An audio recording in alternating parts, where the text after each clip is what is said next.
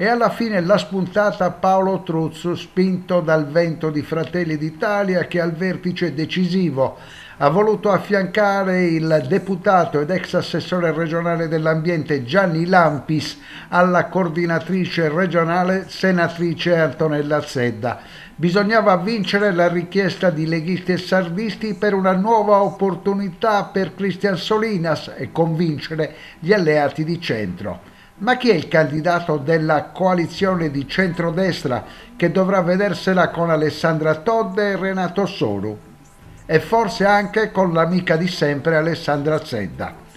È uno studente modello già dai tempi del classico Dettori che frequenta dal 1985 al 91.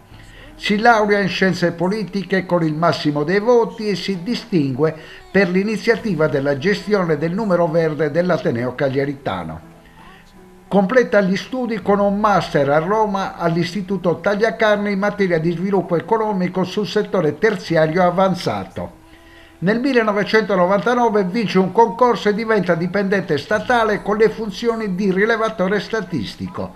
Ma la grande passione è la politica che lo porta ad un crescendo di impegni istituzionali, prima con Alleanza Nazionale e poi con Fratelli d'Italia dal 2006 al 2011 è presidente della circoscrizione 5 del comune di Cagliari ed entra a far parte del consiglio di amministrazione del CTM, il consorzio dei trasporti metropolitano.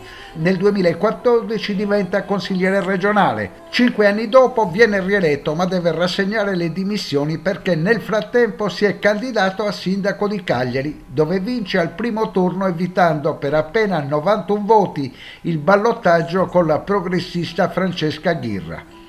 Il suo nome è stato dal primo momento nella lista dei papabili alla corsa per Villa Devoto con l'incognita della reazione di Cristian Solinas e dei suoi unici fedeli sostenitori tra i leghisti e i quattro mori. Troppo pochi per resistere all'ondata di consensi per il primo cittadino del capoluogo che si sono concretizzati nella sala conferenze di Palazzo Tirso dopo l'intera serata di lavoro.